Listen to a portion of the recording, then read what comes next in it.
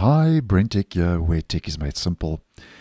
So, the Microsoft Edge search bar, which can be accessed by heading to your main menu, More Tools, Launch Search Bar, I have found is one of those features you either like or you don't. And as the name implies, what it does is it brings um, Bing Search and Copilot to the Windows 10 and Windows 11 desktop. Now, I have found that this has been on a controlled rollout mainly rolling out to Edge on Windows 10 PCs, but I see now that it's becoming more widely available and is also now rolling out to more regions um, in Microsoft Edge on Windows 11 devices. Now, although it's becoming more widely available, if you are using the search bar in Microsoft Edge, up until recently, it only let you use uh, the Bing search engine. So, as an example, if I just do any random search, and you can see it opens up that those search results in Microsoft Edge uh, in Bing Search.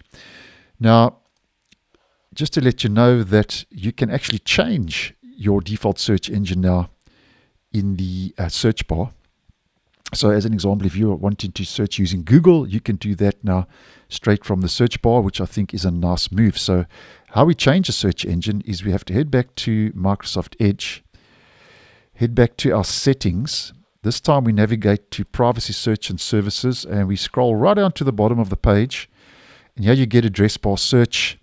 And obviously Bing is the default recommended uh, in Edge. So if you want to change that, you can change it to any of these search engines. I'm just going to use Google and there we go. And now if I head back to the search bar, first of all, the first thing you're going to notice is that the Copilot button has been removed when you change your search engine. So um, if you don't want to see the uh, Copilot um, button, you can always just change it to another search engine. And now if I do a search, just any random search, we can see now it opens that up in the Edge browser, but it's now using the Google search engine in the Edge web browser. So although it's still using Edge, um, you can still use your default search engine or your search engine of choice in the Edge browser, as in my case, a Google search. So I think that's a nice move. It would be nice if this would open up uh, in your default browser, but I don't see Microsoft uh, getting so generous, um, in my personal opinion. And um, if you want to close the search bar, you head to your settings and more.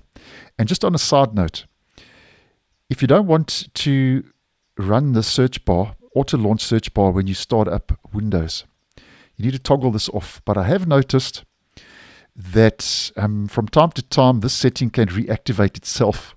And also, when you change your search engine in the search bar, it also puts it back to auto launch search bar. So if you don't want this to launch when you start up your device, just toggle that off and then you can close search bar.